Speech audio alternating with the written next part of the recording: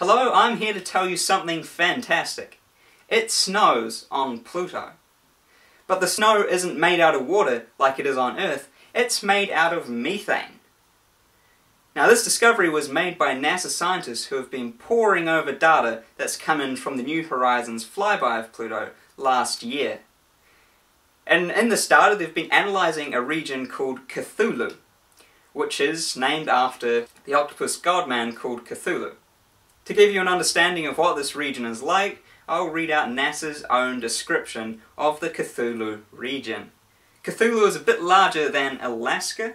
Cthulhu's appearance is characterized by a dark surface, which scientists think is due to being covered by a layer of dark tholins, which is a complex organic molecule that forms when methane is exposed to light. The geology of the Cthulhu region is also quite interesting, varying from flat plains to mountains and some rugged terrain in between.